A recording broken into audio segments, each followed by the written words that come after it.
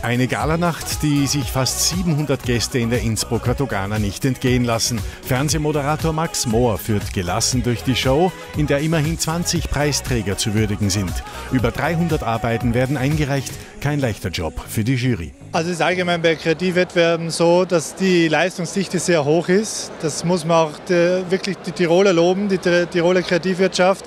Ähm, sage ich ein bisschen mit Neid als Vorarlberger, ähm, steht da sicher ein bisschen über uns. Also da können wir uns ein bisschen was aus Tirol abschauen. Ähm, darum ist die Entscheidung sehr schwer. Die besten kreativen Köpfe des Landes sind meist jung und sie haben gute Ideen. Viele von ihnen haben an diesem Abend gewonnen. Wir alle wissen, was schlechte Werbung ist, aber was macht eine gute Werbung aus? Ja, die muss beim Kunden ankommen. Werbung macht man nicht zum Selbstzweck, sondern dass irgendwas passiert danach. Und wenn man eine gute Idee hat und der Kunde oder der Adressat es entsprechend annimmt, dann ist das super. Und ich sehe immer wieder also extrem tolle Werbungen, wo man denkt, warum ist mir das nicht eingefallen? Erstmals in der Geschichte des Tirolissimo gehen gleich zwei Preise an Kreative aus Osttirol. Die Agentur Aberjung ist zwar im letzten Jahr nominiert, heuer klappt es aber dann. Ja, ich glaube, es zeigt einfach, weil wir generell im Raum Osttirol die Kreativwirtschaft ein bisschen ankurbeln wollen, also uns vom Konkurrenzgedanken komplett verabschieden, einfach schauen, dass wir die ganze Kreativszene fördern, dass man vielleicht mehr Aufmerksamkeit auf Osttirol einmal legt, dass dort auch innovative Unternehmen sein und ich glaube, haben wir mal bewiesen, dass das möglich ist. Abräumer des Abends sind diese beiden. Die Agentur Zimmermann Pupp und ihr Kunde, die Bäckerei Therese Mölk, mit gleich fünf Preisen. Ich glaube schon, dass sie sehr viel mitgeredet habe.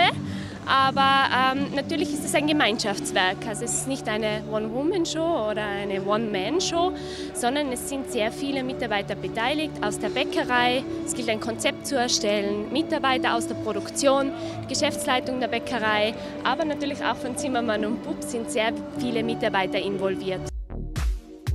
Zimmermann Pupp ist die Agentur, die die meisten Werbepreise in Tirol eingeheimst hat. Der Platz wird langsam eng am Trophäenregal der Agentur. Ist es doch so leicht, Preise zu gewinnen. Es braucht nur drei Dinge für eine gute Kampagne. Das ist einmal gute Ideen, zum zweiten Mal mehr gute Ideen und zum dritten noch mehr gute Ideen. Und dann sucht man die beste aus. Und das ist es. Der Junior Award geht dieses Jahr ins Unterland für eine Kampagne des Mützenherstellers Eisbär. Ja, natürlich, das war eine sehr große Überraschung. Ähm, natürlich, wir haben im Vorhinein schon gewusst, dass Praktiken verlost werden, aber nicht, dass wir die halt gewinnen. Und jetzt, natürlich, das ist uns jetzt auf der Bühne gesagt worden. Jetzt sind wir natürlich einmal sehr erfreut über das. Also, ja. ist das jetzt dein Traumberuf?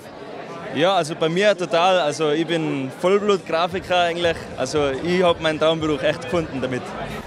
In zwei Kategorien wird heuer kein Preis verliehen, und zwar in der PR und im Online-Marketing.